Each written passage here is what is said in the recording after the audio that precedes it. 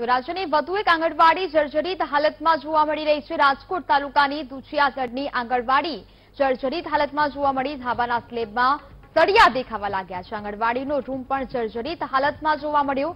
લાઇટના પોલમાંથી પાણી ટપકી રહ્યું છે. આંગણવાડીમાં ત્રણસો થી વધુ બાળકો અભ્યાસ કરે છે. આંગણવાડીનું રિપેરિંગ કામ તાત્કાલિક કરાવવા માટે ગામ લોકોએ માંગણી કરી છે.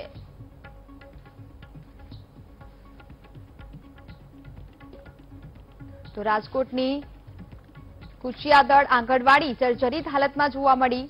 તો જે પ્રકારે આંગણવાડીમાં ત્રણસો થી વધુ બાળકો અભ્યાસ કરે છે. આંગણવાડીમાં ત્રણસો થી વધુ બાળકો અભ્યાસ કરે છે. લાઇટના પોલમાંથી પાણી ટપકી રહ્યું છે. જેવા દ્રશ્યો અહીંયા જોવા મળ્યા હતા. આંગણવાડીનો રૂમ પણ જર્જરિત હાલતમાં જોવા મળ્યો હતો. ડાબાના સ્લેબમાં સળિયા પણ દેખાવા લાગ્યા છે. તો જે પ્રકારે રાજકોટ ખાતેની વિગત રાજકોટ તાલુકાની કુચિયાદરની આંગણવાડી જર્જરિત હાલતમાં જોવા મળી. વધુ વિગત સાથે સંવાદદાતા શનિ મૈયર જોડાયા છે. શનિ, જે પ્રકારે રાજકોટ તાલુકાની આ કુચિયાદરની આંગણવાડી જર્જરિત હાલતમાં જોવા મળી છે તેવી ઘટના સામે આવી છે.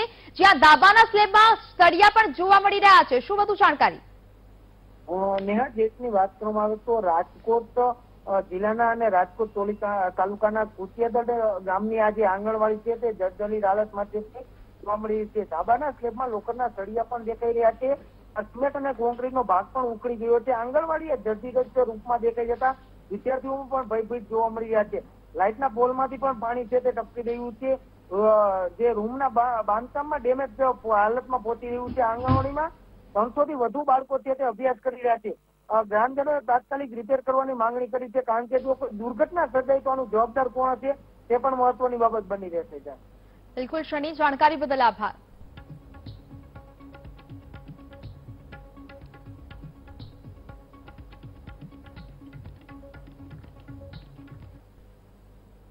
તો રાજકોટમાં